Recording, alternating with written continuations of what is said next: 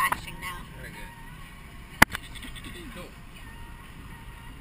It's always the part I want to get.